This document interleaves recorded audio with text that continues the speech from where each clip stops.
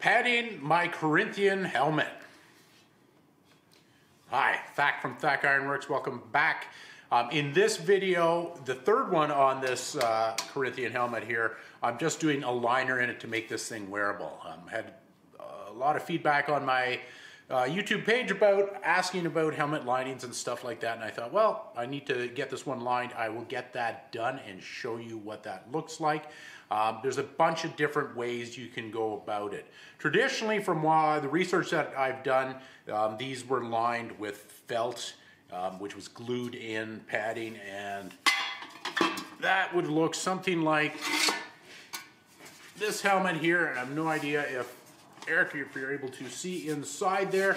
So this is the way I used to just line helmets if they needed to be worn for photo shoots or whatever. Um, even when I used to do combat fighting, we used to um, just glue in this closed cell um, foam in order to create padding on a, to level it out on your head that it was at the appropriate height and centered um, not really a complicated process, and I don't know if you can see there, this, these are actually just taped in, duct taped in, so that they can be pulled out and removed and something like that. So traditionally, they would have glued um, this sort of thing in, or they would have made an arming cap that would have been laced through or riveted in in some fashion in order to do that.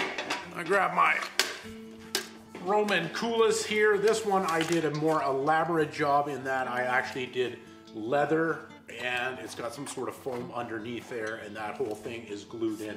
So it actually looks a little prettier when you look on the inside there, but really performs the same thing.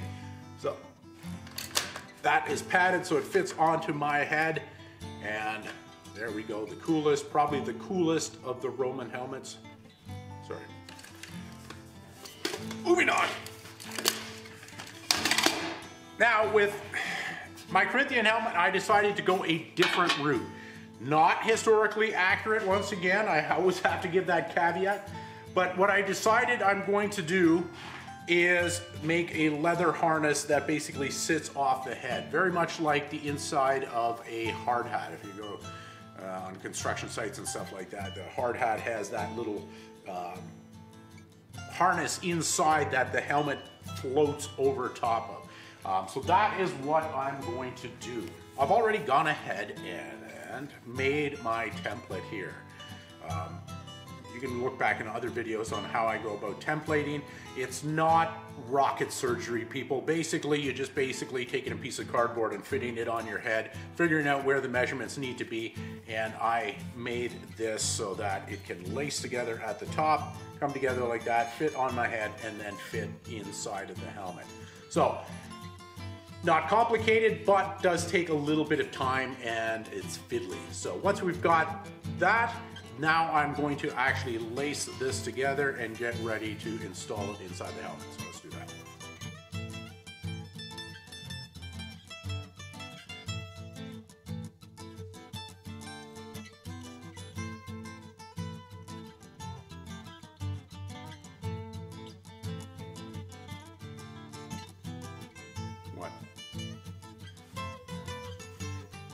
Okay, so I've got my piece made and fits onto my head. It's comfortable enough. It's, I would say snug, but not too snug. It just kind of fits on there. Um, and now these little wings here with the holes are going to be riveted to the side of the helmet and that should suspend this thing off my head. So let's get into it. Okay, so I'm ready to put this in here. I'm also putting in a little D-ring tab here, um, which will help lace the helmet to my head, tie it in to hold it in place there. So I'm putting that in as we go. So this is going to be a little awkward. Okay, I want to get it seated on the ball there. See if my end nippers will nip this. Take it down to about 3 16 long and I'm coming in with the ball.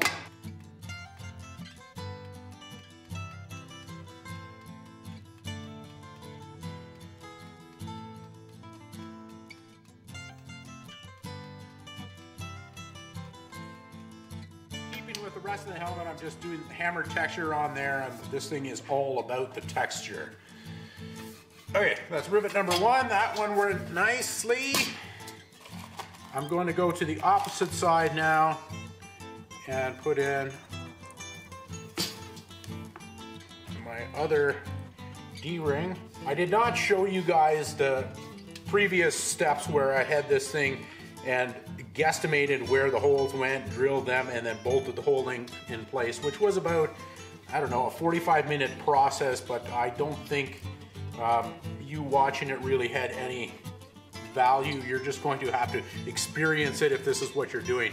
Um, what you're trying to end up with is that the webbing floats about an inch uh, below the inside of the dome of the helmet so that this thing is actually floating on your head. And that should also correspond with where your eyeballs meet the eye holes of the helmet. Damn it.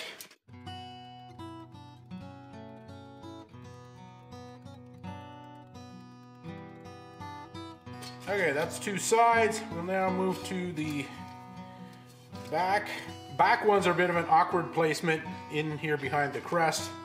And I'm not sure if I'll be able to get my ball there to grab them.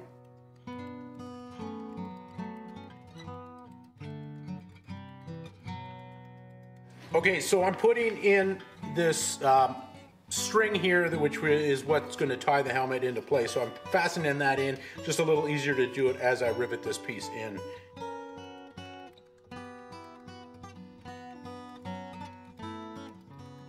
All right, moment of truth to do the front.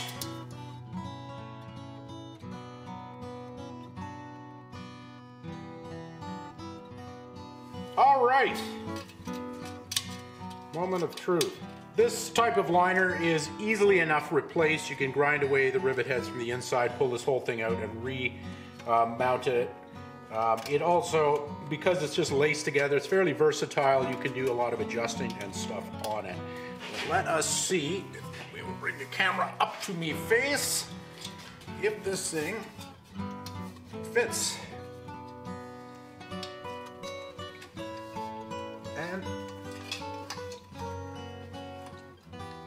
Ears out of the way. Okay, there it is. So I would lace this under here. I might do something slightly different with this rather than having a big funky bow on the bottom there, but I've got that in place now. My eye holes are right there, right in the middle of my eyes. Everything seems, from the inside here, seems symmetrical. I'm not sure how it's looking from the outside. I should also point out that I since the last video added a brass liner on the inside of the eye holes, I felt that they were oversized, even though they were historically accurate at that size. I just didn't like the shape of them. Um, and then on a face, I didn't like you're seeing too much of the face, so I wanted it to be a little bit more discreet that way. So I narrowed down the eye openings, and I'm probably going to file these out a little bit bigger yet. This thing is a work in progress, but I like the aspect a little bit better. Let me know what you think. Uh, I'm not sure how my voice is coming through here. And uh, yeah, so you can see it stays on my head and moves with me. I don't have it totally tight down in here yet there, but I can bend forward and back and it stays um, in place. So I'm pretty happy with that. This thing's a little top heavy with this giant crest. Good. There we have it. All right, since the uh, putting the uh, strapping inside the helmet there to make it wearable was not a really big video. I thought I would give you guys a little teaser of all the components that I have made thus far for this Greek Hoplite outfit. So this is the first time you're seeing them all together. This is the first time I've actually had them all assembled together. So uh, the next piece is the sword. That will be happening, um, well, chronologically in my time here, about a week from now, we're going to start filming the making of the sword. Then we have the spear, and then I have some undergarments to create and manufacture, and that should complete this suit. We're in the last few months. Thank you so much for your patience on this one. I know this has taken a couple years. It started about two years ago, two and a half years ago with this shield here. So um, moving forward, almost there. Hang with me, guys. Um, I appreciate your support. I love the comments. Uh, keep them coming. Uh, please subscribe, uh, hit the notification bell, uh, thumbs up, all that stuff. I will see you very soon in the next video. That's it. Back out. See ya!